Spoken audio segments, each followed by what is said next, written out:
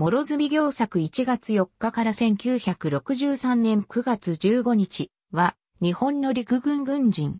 最終階級は陸軍中将。長野県諏訪郡古東村出身。諏訪中学校を経て、1910年5月、陸軍士官学校を卒業し、同年12月、不評少尉に任官し不評第58連隊付けとなる。同連隊中隊長などを経て、陸軍不評学校で講守学生として学んだ。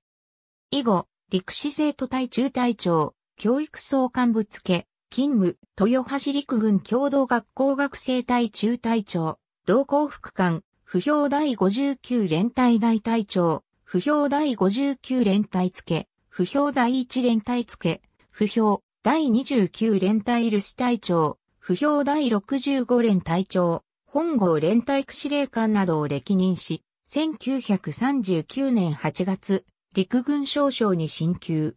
1940年9月、第39歩兵団長に発令され、日中戦争に出征。